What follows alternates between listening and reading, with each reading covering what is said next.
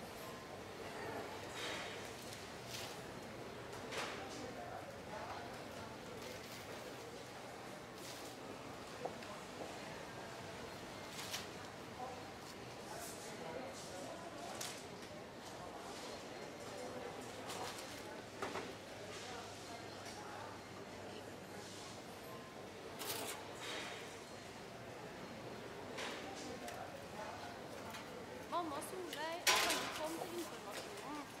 Trine venter på deg der.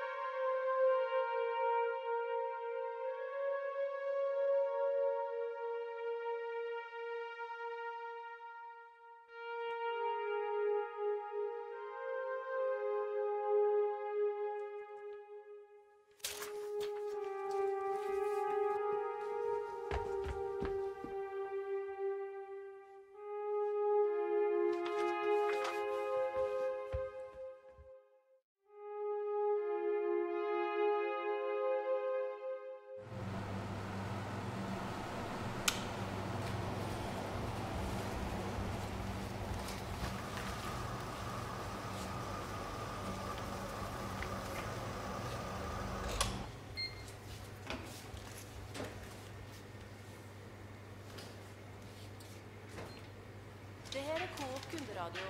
Vi gjør oppmerksom på at senteret stenger om ti minutter, altså klokka sju.